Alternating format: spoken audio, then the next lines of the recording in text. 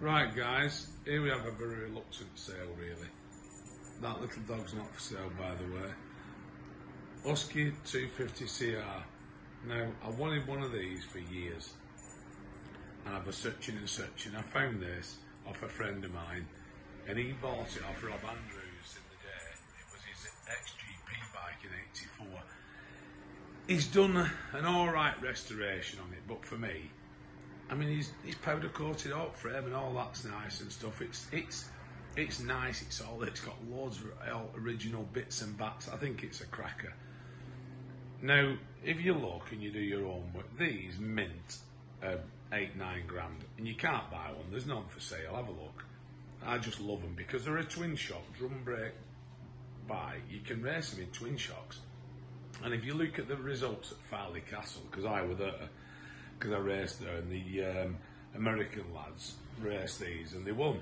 You know, they're absolutely mega, mega piece of kit for the day. So, if I don't sell it, it won't worry me. So please don't give me any daft offers or anything, because I just keep it. I'm not bothered. They're not making any more, and you won't find any. I mean, it's all there. It's all there. It's just one I'd, if, it, if I was going to race it, I'd start again with it. You know, most people have got it like me and say, what you on about? Twin leader, so you've got twin leading shoes on front. That in its day, there'd been a factory pipe, it's got a few dents front, which has been raced, you know. But you can take them out nowadays. But it's it's all there, nice bike, flat side Mikuni carb on it. It's a cracker, really.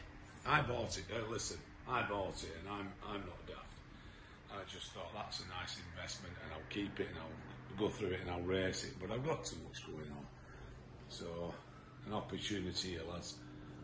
New tyres. Like I said, it's all there. It'll make a cracking bike for somebody that. I mean, I'll be honest with you.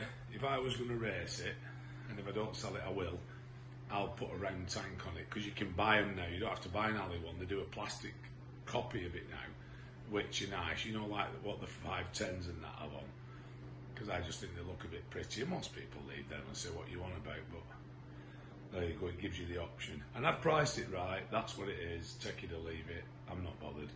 So, if you need to know anything, just give me a ring. Thanks for looking.